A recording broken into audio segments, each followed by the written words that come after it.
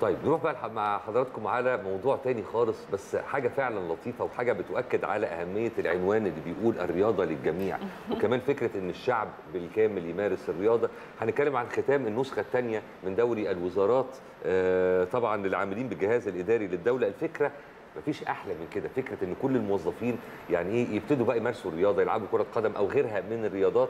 طبعا اللي حصل إن يعني وزارة النقل هي اللي حصدت ذهبية كرة القدم للعام الثاني على التوالي. خلونا نروح نشوف يعني ختام النسخة الثانية من دوري الوزارات للعاملين بالجهاز الإداري للدولة ونرجع نكمل كلامنا. اتفضل.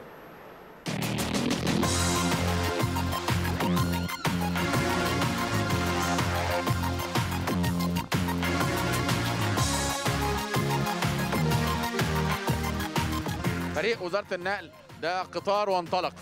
وإن شاء الله بإذن الله آه، قابلونا السنة الجاية واللي بعدها واللي بعدها إن شاء الله بإذن الله لن يتوقف تاني. قطار التطوير انطلق في وزارة النقل. في كل قطاعات وزارة النقل بما فيها الرياضة. والله إحنا اشتغلنا خدنا تعليمات من أول يوم إن إحنا الأبطال وإحنا كنا أبطال الدورة اللي فاتت.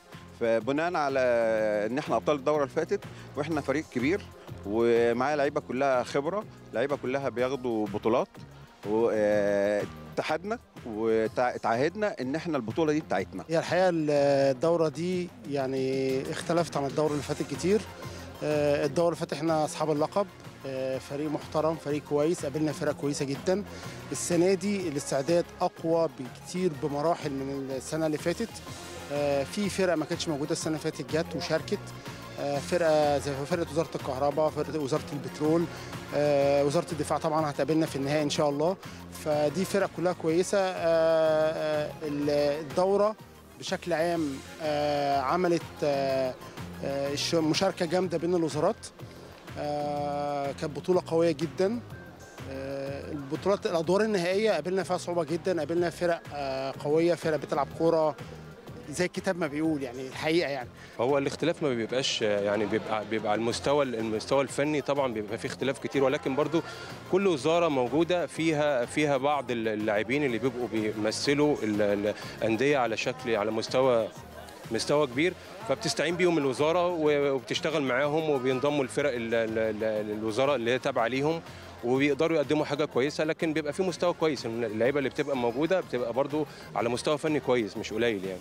طبعا بالنسبة لدعم الهيئة العامة لطرق الكباري لل- للفريق النهارده آه، إحنا طبعا بتعليمات من رئيس الهيئة وتعليمات السيد معالي الفريق كامل آه، وزير النقل. بندعم الفريق بتاعنا آه، ماديا معنويا. إحنا الحمد لله حاملين اللقب السنة اللي فاتت فإحنا واخدين على المباريات دي. وصراحة المدربين تعبوا معانا قوي قوي من أول البطولة.